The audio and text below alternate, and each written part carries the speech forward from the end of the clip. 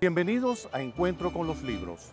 Hoy tengo en mis manos un libro simpaticísimo, lleno de relatos, cuentos, que nos sumergen en el mundo de la fantasía, de los sueños.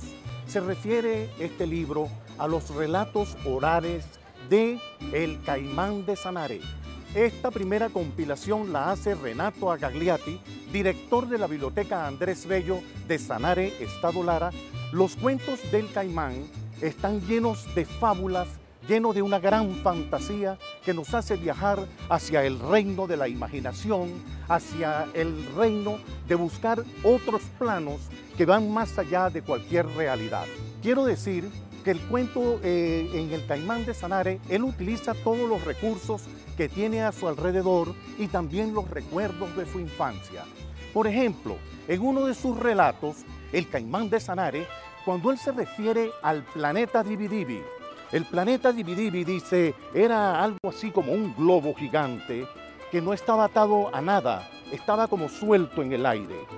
El globo giraba y giraba, pero en un momento comenzaron a llegar unas máquinas y comenzaron a quitarle las plantas, comenzaron a quitarle las capas de tierra, comenzaron a, llevarse todo, las piedras y todo hasta que el globo, el planeta, se fue quedando pequeñito, pequeñito, pequeñito, hasta desaparecer en el aire.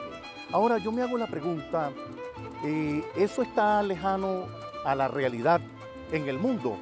¿Acaso no estamos amenazados también, el, el, planeta Tierra no está amenazado por la contaminación y por cantidades de elementos bélicos?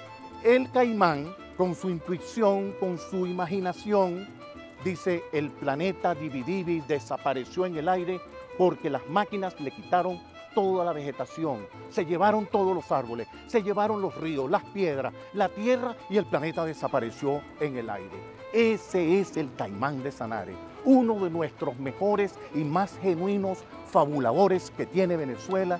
Lamentablemente, hace pocos años se nos fue físicamente, pero Caimán sigues en los cuentos, sigues en la palabra que hoy te reivindicamos e invitamos a todos los niños, todas las niñas, a la familia, a los colegios, a que lean al Caimán de Sanare en estos maravillosos cuentos que proporciona, pues nos proporciona o nos permite ese hermoso viaje por el reino de la fantasía, de la imaginación y de los sueños.